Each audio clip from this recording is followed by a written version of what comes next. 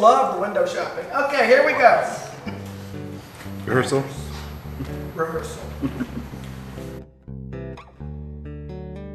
On six, closing shot is, I don't think he's telling me the truth. Seven, eight. She's not buying this.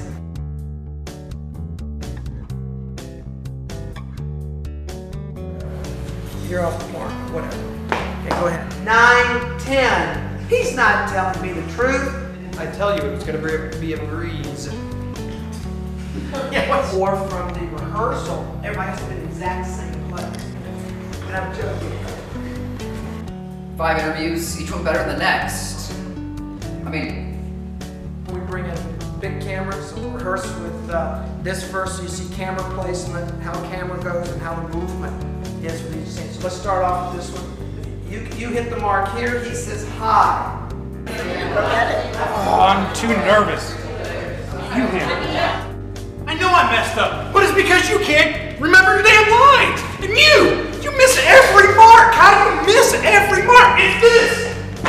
And stop. That's it. And I'll call my assistant director over and say something like this.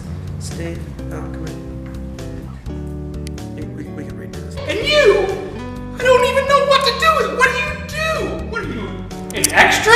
Are you a tree over there? Is that what you were doing? Dude, lighten up. Chill. You has no idea who I am. Go get me a coffee. Fire tower in the And then you make a left, you go out of sight twice, it'll be on the right. I said,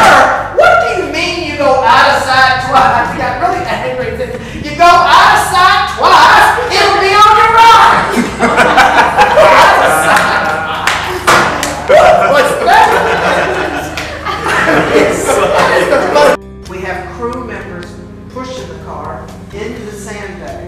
Sit down. Have a coffee. hit this mark on two or me, actor's choice. So he said, was that okay for you? Ah, but I might be another character. I'm gonna try to throw you.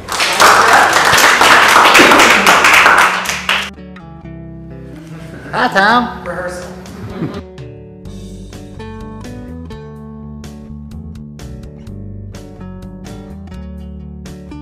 I'm telling you, I would thank you for doing them this poorly. You weren't here, but they did them poorly. They did them as poorly as they possibly could on the first one on purpose.